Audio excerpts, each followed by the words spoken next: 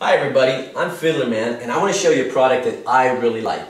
Now, one of the best motivations to practice is actually seeing your instrument and being reminded at all times that you can practice. And even if you have just a little bit of time before you're going to go somewhere or you're waiting for some friends to come, you might pick up your fiddle and play five minutes. Now, this is called a violin hanger, and this is a stand mounted violin hanger. One of the great things about it is that it has this rubber surface here, a rubber tube on top of the metal, so it's really soft for your violin. Another great thing about it, you can hang your bow here as well. It's got this little pin that sticks out here. You can either hang it like this, or you can turn it around and hang it by the tip. It doesn't really matter, whatever you prefer.